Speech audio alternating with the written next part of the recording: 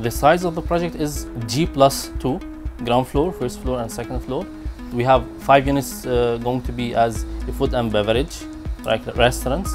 And uh, there are around 28 shops, going to be clinics, barber shops. At the end, it's a commercial building, so it can be anything. And we have two basements for, as the parking lots.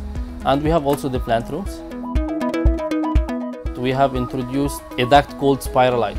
It's been imported from UK. It's uh, a new culture uh, here in Dubai.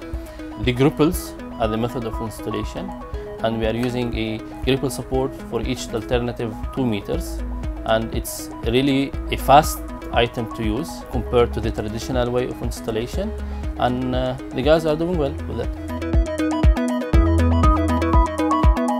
Before we, we were using C channel and we were using two thread rod supporting from both ends and making two drills to hang the duct. Now no, it's different. We need only one drill to put the gripple in strut and we can hang the duct. That's it.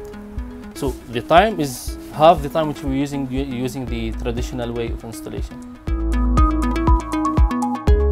It's lightweight product, so anyone can deal with it, and there is no sharp edges. There is no strong uh, rods, same like the thread rod we used to to, to use before. It's it's it's very good.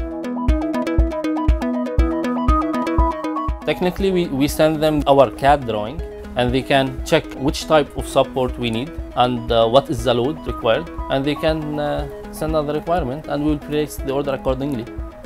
You will get a very good quality product.